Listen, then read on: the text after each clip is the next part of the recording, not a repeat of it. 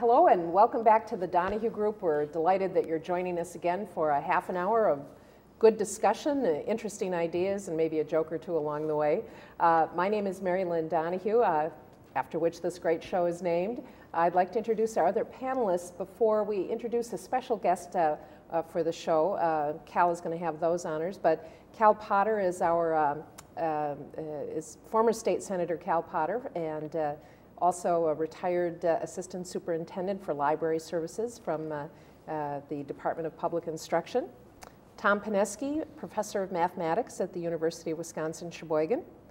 Ken Risto is the, has a very long title. Um, he yes, is the uh, assessment and something specialist for social studies for the Sheboygan Area Every School show District. you get a little closer. and someday I'm going to get it. Um, Cal, with that, I'm going to turn it over to you and ask uh, that you introduce our special guest today. Well, we're very pleased to have with us today Jay Heck. Jay is the executive director of Common Cause in Wisconsin. Common Cause is a 4,000 member organization and it's affiliated with National Common Cause. And I won't say any more about the organization because uh, Jay will give us a little background on what his organization is and, and what, they, uh, what they do. But I do uh, have a little bio that he did provide to me. Uh, I've known Jay for many years, uh, he having been, as I will mention shortly, in the legislative, legislative arena in Wisconsin prior to some of his other jobs that he's had. And uh, during that period of time, um, I got to know Jay, and I could probably give you much of the bio, but I want to do justice to his, uh, his fame and his, his background. And so I took the bio that he emailed me, and I'm going to uh, just give you a little capsule of uh, the background on our guest. Uh, Jay has been with Common Cause since uh, 1996, so he's been at the helm of that organization for about 10 years. And prior to that, he served for three years with the Wisconsin Association of Independent Colleges and University as, as their media person, government affairs uh, person. Uh, prior to that, as I mentioned, he was involved with the state legislature, working for the, uh, uh, one of the Senate caucuses as a media person, and he also worked for Senator Joe Strohl. And those, that period of time is when I did, as, as I mentioned, got to know uh, Jay. But prior to coming to Wisconsin, he also had political experience uh, by working uh, for a Congressman Kostmayer in, in, Pennsylvania. And prior to that, he worked in the campaign of uh, John Anderson for president.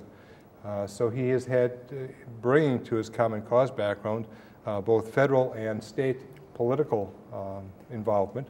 And I think that is really giving him insights that uh, have boded very well in, in the successful tenure he's had at, at Common Cause. He's a native of Cleveland, Ohio, 1979 graduate with honors from Miami University. He's married with two children and resides in the fine city of Madison, Wisconsin. And with that, I present to you Jay Heck.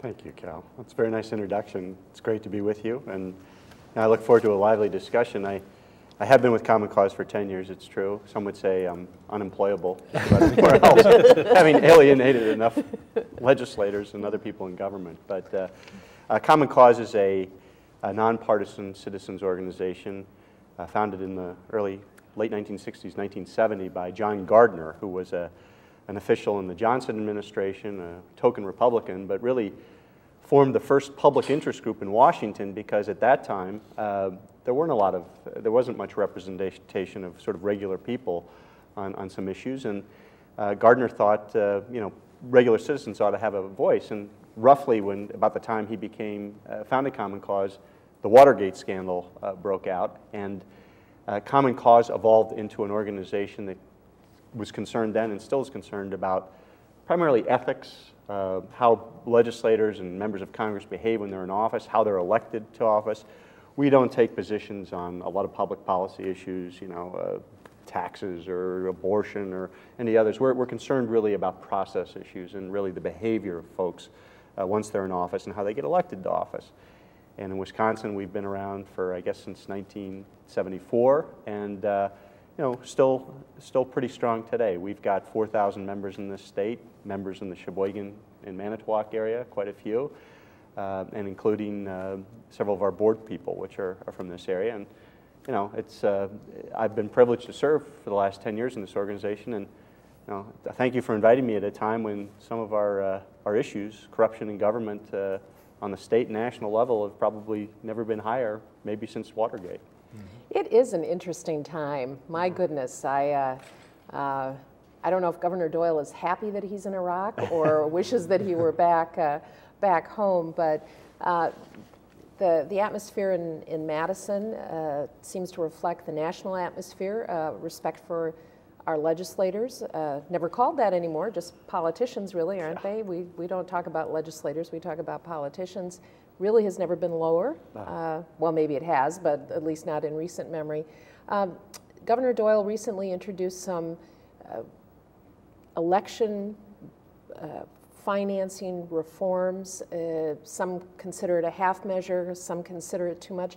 Would you just review for us what the governor did to the best of your memory and, and what your thoughts are? Sure. Well, you know, just, just to put this in the context of where we are, uh, you know, within the last month, the scandal in Washington has broken out. The Abramoff scandal was Jack Abramoff, a lobbyist, uh, the former, now former majority leader of the U.S. Congress, Republican Tom DeLay, has stepped down partially because of this. Uh, and then in Wisconsin, we're actually still in the midst of what we, many have considered, and I would agree, the, the biggest and most serious political scandal in Wisconsin's history, the legislative caucus scandal, which claimed the leadership mantle of five legislators. Uh, one is still serving in the legislature, but the leadership's all been down. In the last eight weeks, we've had either uh, four consecutive convictions or sentencings of former legislators. The great thing about the scandal in Wisconsin is it's bipartisan. Yeah. And that's what you want, in a sense, if you're going to have a scandal, because that way it can't be polarized or, or it can't be uh, pointed to as being that's the Republicans, that's the Democrats. Both were complicit uh, in these scandals. They all involved campaign finance abuses. And now, within that context, uh, Governor Doyle is under investigation for campaign finance uh, practices in two and possibly three separate instances, uh, situations involving uh, either contractors with the state of Wisconsin or possibly votes changing, all related to, to campaign financing. So that's the general context. And of course, in an atmosphere like this, people scurry for political cover. They scurry to try to find uh, to, to, become reformers and to sort of embrace reform. And so mm-hmm. that's what you're seeing now. Uh, the governor, about uh, a few weeks ago, put out a reform package, modest reform package, and then both of his Republican opponents for the governor, for governor, Congressman Mark Green of Green Bay, and Milwaukee County Executive uh, Scott Walker have also put out reform uh, packages. All of them are, uh, there's some good reforms in all of the packages. None of them really get to the problem in Wisconsin, which is really the corruption of public policy and the fact that there's so much special interest money now awash in the system that to run for governor, we've estimated it's going to cost between 35 and 40 million dollars, all told, spending by all the groups. That in contrast to 20 years ago when Tommy Thompson defeated Tony Earl, uh, less than $3 million was spent, and that election was about issues. It wasn't about money. And now money more, more and more dictates uh, who gets elected and what public policy decisions are made. And to actually answer your question, which I'm sure you were wondering what I was going to do, uh, Doyle actually put forward a, package of reforms that included some things like, and we've long advocated, eliminating fundraising during the consideration of the state budget process, which is about a seven or eight month period. Currently, that legislators and the governor use the budget as, a, as an auction tool. They are able to hold fundraisers during the budget, special interest groups pony up and trying to get favorable treatment in the budget. So that's, that's a good reform. There's several others, not being able to use uh, either campaign money or state taxpayer money for criminal defense if you've been charged with a crime. That's a very good thing. Uh, he's, even, he's even suggested there should be complete public financing for Supreme Court races. But the problem with the governor's uh, proposal is that it doesn't address the problem. The corruption's not in the Supreme Court. The money is in running for governor. He has to raise, or feels he has to raise, 10 to 15 million dollars so there's all of that money. And then the legislature, that's where the corruption was. That's what the caucus scandal was out, all about. It was the tremendous amounts of money to run for state office. So his proposals don't address where the real problem is. Uh, Scott Walker and Mark Green are suddenly now reformers as well. Their proposals are also fall short. Um, you know, some modest things like no, uh, no contributions from people doing business with the state while a contract's under consideration. That makes sense.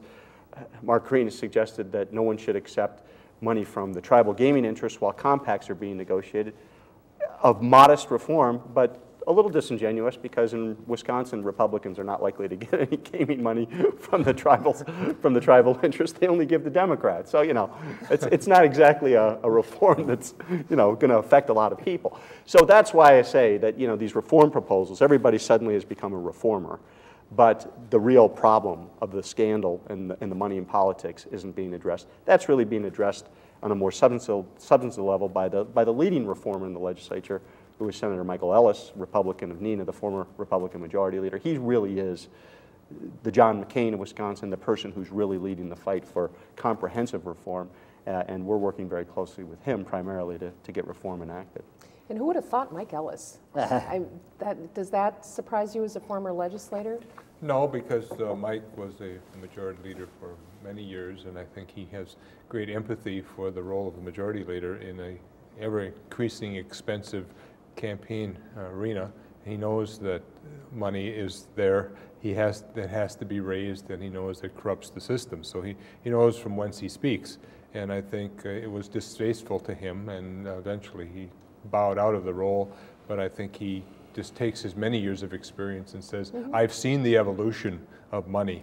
Um, I can I saw it in my time. I mean, I I started my first campaign was three thousand dollars, and when I left, I was still one of the pikers. My last campaign, the competitive one, was forty-four thousand in 1990, and my opponent I think spent around a hundred thousand. But uh, that was just before the the thing just became totally obscene as far as amounts are concerned. And so anybody who's had any uh, longevity under their belt knows that what has happened in most recent years has just gotten totally out of hand. So what has Ellis actually proposed and what are the chances? Well, one of the things, and, and again, I will answer your question. One of the things I just wanted to say is that things have really evolved since when Cal Potter was in the legislature. And, you know, I came to Wisconsin in 1988 with the impression that this was a state of good, clean government. It was the model for the rest of the nation. I'd come from Washington, D.C., where you know, I was involved in policy making, but also in raising money for congressional campaigns. I said, I'm going to come to this state. It'll be you know, good. It'll be clean. And I quickly saw, you know, in the late 1980s, I don't think it was commensurate with me coming here, I hope not, but I think it really the, when, when, when Governor Thompson became governor, uh, that's sort of when things started to, to uh, evolve because uh, even though he, it took very little money for him to be elected in 1986, he saw that as governor, a lot of money could flow to the governorship. And so he increasingly began to raise a lot of money. That in turn provoked the teachers union, WEAC to decide to get into this big money game, and they started doing what are called outside independent expenditures on behalf of Democratic candidates. Then a few years after that, Wisconsin Manufacturers and Commerce, the state's business group, said, well, if WEAC's doing that, we're going to have to do something to help the Republicans. And pretty soon, by the uh, mid-1990s, you had this explosion in terms of money being spent, but then you also had, uh, coming to the leadership of the legislature, two individuals who were both very ambitious, very partisan, and very determined to have their way. And that would have been Chuck Chvala, who became the majority leader in the state Senate, the Democrat, and Scott Jensen, who became the Assembly Speaker. Both of these people were really, I think, in, in my view, in, in pursuit of power at almost any cost. And it really came at the cost of Wisconsin's good reputation. And so Senator Ellis, who was the Republican leader during most of the 1990s during that period, uh, did step down from the leadership of the Republican uh, majority, and they were the minority by then, uh, because of this distaste for raising money, but really because he also was elected, as Cal was, at a period when Wisconsin politics was very different. And so his reform basically is, it's very radical actually, if you think about it. it. What he would like to do is supply some public financing to candidates, which would replace the special interest money, which now flows through the system. And in return for some of that, and it's not 100% public financing, it's about 35% of, of a spending limit, you would agree to spending limits. And so for a state senate race, for instance, instead of the three, $4 million races that we've seen evolve, it was about $2 million in 2002 uh, with Jim Baumgart and Joe Leibham. About $150,000 is the limit for each candidate. And the gubernatorials, the governor would be uh, limited to $4 million. Again, we're talking about Jim Doyle raising and spending 10 to 15 million dollars in 2006. His Republican opponent probably close to that amount, whether it's Walker or Green. So spending limits, some public financing, eliminating slush funds called legislative campaign committees, which allow legislative leaders to collect special interest money and then dole out money to people that they want to win, And that strips the independence of the legislature, uh, puts all the power in the hands of the leaders, gets rid of fundraising during the consideration of the budget, uh, and some other reforms, which are very critical if we're going to try to recapture, or at least in some part recapture, the Wisconsin, at least uh, that we used to be, which is you know one where issues mattered more than big money. Where do you see uh, the compromise? You've got the governor who's up for re- re-election. He's got two Republican opponents. You've got Mike Ellis, who's a Republican. How can Common Cause bring the parties together at such a late date, really, with the election in November? Well, that's the key, of course, and it's an election year, and rarely in an election year does anything ever Get done, substantive right? ever Yeah. happen. I mean, already they've already begun raising the money for the election, and they're they're only until April, and so you know. Uh, but, but this window of opportunity where suddenly people have, have tuned into this issue. I mean, usually campaign finance reform and ethics reform, people sort of, their eyes glaze over when you talk about it because they, they really don't think there's much they can do, and it's not the issue that drives them anyway. You know, we're concerned about the environment and education and taxes. But more and more people finally are understanding that it's the money behind those issues, which often means those issues don't get resolved. And so, you know, the compromise, and it's a bipartisan compromise that Senator Ellis, Senator Fred Risser, a Madison Democrat, um, and others have put forward, which was defeated earlier this year in the state Senate. Uh, that's the vehicle by which we think is, we, we could possibly get reform accomplished. And look, it's not the complete reform that Common Cause and a lot of people think we need to have. It doesn't have all the public financing, all the disclosure. But keep in mind, there's a Republican majority in the legislature. The Republicans traditionally have been not all that interested in seeing public financing for elections. Ellis and a few others, like Senator Rob Cowles, and there's others who take a different view. But so there would be some public financing, not all, some disclosure of outside spending, not all, a compromise that we could get in place and then build on in the future. And of course, this is a political game because what you'll have are some Democrats who are saying, well, this reform isn't good enough. And so they'll take the high ground and say, well, we must have full public financing, we must have full disclosure, but knowing full well that that kind of reform would not pass through the legislature because it's controlled by the Republicans. It's the gamesmanship. And the governor's guilty of that too. I mean, he's also said he's not in favor of some of the reforms that we've put forward because he says, quote unquote, they don't do enough, knowing full well that the more complete reform that he says he wants, although some question whether he does or not, he knows they wouldn't be passed by the Republican legislature. So there's, there's all of that. Can we do it? Look, the odds are always against uh, reform, and particularly in an election year. I'm not naive enough to think that this is going to happen or it's going to be easy. But if there was ever a time in Wisconsin, it would be now when all of this stuff is happening. The two and three uh, separate investigations involved with the governor's own financing. The trial of the, of the former Speaker, Republican Speaker of the Assembly, Scott Jensen, which is going to be happening in February. I mean, so both parties are scurrying for political cover. And if that's the reason why reform gets enacted, so be it. If it's for their self-interest and self-preservation, fine. I mean, that's, we'll take it. that's often what it takes to get these people moving. But that's kind of where we are right now. Um, just, th- this is a little off, off topic. Is Jensen going to go to trial? I mean, I, I, I note that the trial is scheduled for two, two and a half weeks in February. Sure. And uh, uh, bad timing for the Republicans? Well, you know, I mean, the way the schedule worked was that uh, former Senator Burke, who is a Democrat from Milwaukee and Chvala, were scheduled in October, and so they're, they've already, they agreed to a plea deal. All of these folks have said continually, we're innocent, we're going to take, have our day in court, we're going to prove it, and then as they approach the trial date, well, then they enter into a plea negotiation. And as I say, four for four. I mean, Burke, Chvala, Foti, and Ladwig all have pleaded to a deal. Uh, the common thread through all of this is felony misconduct in office. Now, Scott Jensen has said recently that he's going to go to trial. He feels perhaps he could be exonerated. We'll see. I mean, actually, on the one hand, a trial I think would be extremely beneficial to the citizens of Wisconsin. We would air all this stuff out. People would have a sense of really what happened and how government was really, I think, compromised by the actions of both legislative leaders. Uh, but my guess is that as we approach the trial date, there'll be a plea agreement. I just have, happen to think that's it. And again, uh, the, the key about this, about the scandal, and about even what's happening now, it's, it's bipartisan. This really isn't about one party or the other. And you know, the thing is too that Uh, you know, with someone like Scott Jensen, he's still in the legislature. The others are out. If he is found, uh, even in a plea deal of a felony, he'll have to resign from office. And so, you know, that'll that'll be uh, that one reason why Republicans, I think, will be looking for some political cover on this.